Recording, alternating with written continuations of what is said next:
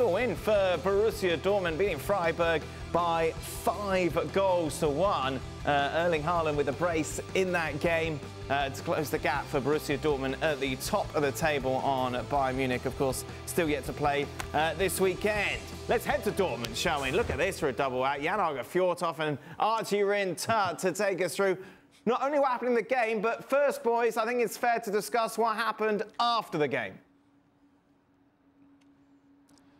Sure. Well, I have to pass you over to the man over here from our Norwegian rivals who had a chat with Erling Haaland. And Jan, Erling is, I'd say, had shone on the pitch. And you're thinking, well, he's, he's made the headlines in the right way.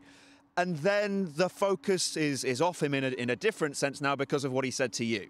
Yeah, he was on a mission. He, he just came over after scoring two goals and he, he looked a bit angry. And we, we know he, he likes to have the, that temperament. And I asked him, Why are you so angry? And he said, Because I, I didn't score three goals. Okay. And then we had a, a, chat about this and that. And I said to him, How do you block these old speculations around you? How do you block that out? And then he was on a mission because what he said is that I respect this club. I haven't said anything for months.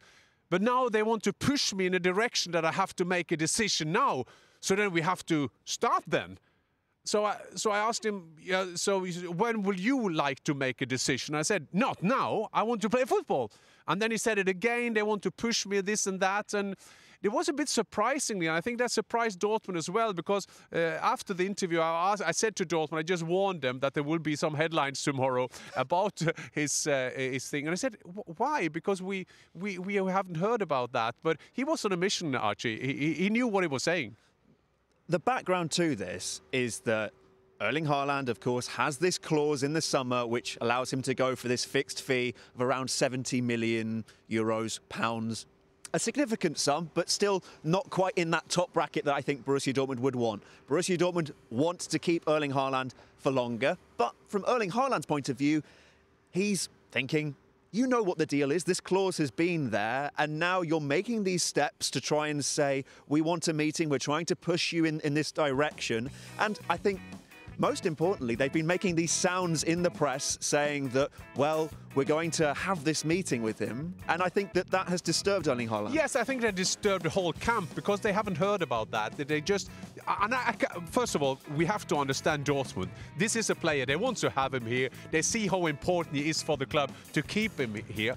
But, you know, you say he has a clause in there, but he's also got a point, I guess, that everybody else that has a clause. It's a, it's a, after the season, say one month, you have to have a club coming in to kind of pay the money, which is which is the clause, and I think that has annoyed them. And he said to me to me today, today, uh, I want, I want, to, I don't want to do it now. I have to wait. And but because there are, the team Haaland, they don't know where he's going to play next season. But you have to understand Dortmund if I could criticize a bit Dortmund, I don't think they should do that over media. I think they're talking a bit too much about it. This is a big deal. And, you, as you're saying, it's been all over the media over here. It's also about Dortmund wanting to send a message to their fans because it's going to be, in all likelihood, a 10th consecutive title for Bayern Munich. And for Borussia Dortmund, they want to send the message that we are trying to fight for the best players in the world, even if they don't have that same number of, of world class players in their squad that Bayern Munich have. So I think that these noises that we've been seeing in the media have been them trying to say, look, we are trying to, to give it a go, as I think you would do if you were in their position as well. But at the risk of upsetting your best player, I think that's the that's the the thin line that they've been trying to tread, and it's got to the point where Erling Haaland has snapped. Thanks so much for watching ESPN on YouTube. And for more sports highlights and analysis, be sure to download the ESPN app. And for premium content and live streaming, subscribe to ESPN Plus.